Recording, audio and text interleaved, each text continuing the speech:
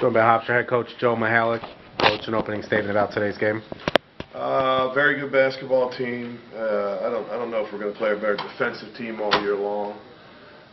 Hopefully, we got something out of it. I mean, the idea is to come down here and, and play some, uh, play as hard as you can, and uh, play against a real good team who, who really guards you, and, and, and get better. I don't, I don't know if we did or not. I don't, uh, I'm not, wasn't too fond of our uh, demeanor out there, but you know, great respect for SMU. Yeah, like I said, I, there's a better defensive team in the country, I got to see it.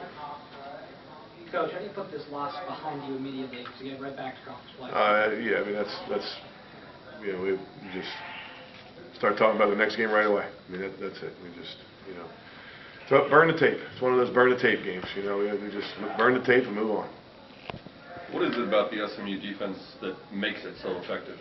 Well, you, you know, and, and I think it's, uh, it's the simplicity that, that they, with which they play. I mean, obviously, you know, it starts with their ability their talent. I mean, they're all athletic and, and so forth, but, uh, you know, uh, y- you know, it's just, uh, nothing special, nothing fancy. They aren't, they aren't, you know, um, double teaming, and it's just so solid. You start to dribble and you can't get past them. You go to shoot, your shot's going to get pressured. Uh, you're open for such a short amount of time that you better really be shot ready and ready to make a play. Because if you're not, you're not going to get a shot off. And, and then uh, and then they do all the other little things right. So it's just so solid. It's it's, it's a clinic defense.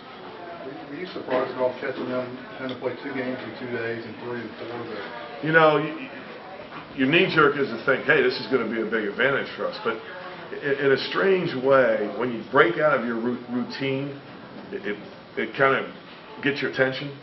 And that's what happened for them, I I think. Uh, you know, it wasn't just, okay, Wednesday, Saturday, Wednesday, Saturday, Wednesday, Saturday.